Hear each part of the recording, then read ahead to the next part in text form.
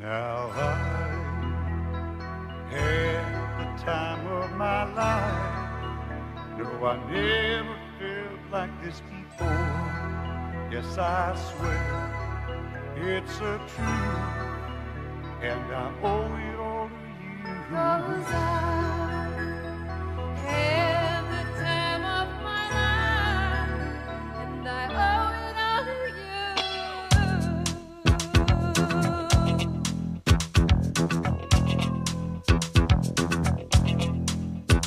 I've been waiting for so long.